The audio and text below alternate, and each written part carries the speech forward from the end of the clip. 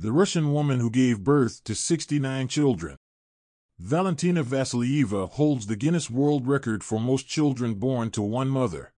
According to records, Valentina lived to be 75 years old and during her life, gave birth to a total of 69 children as a result of 27 pregnancies, 16 sets of twins, 7 sets of triplets, and 4 sets of quadruplets. One set of her twins died in infancy, leaving her with 67 surviving children.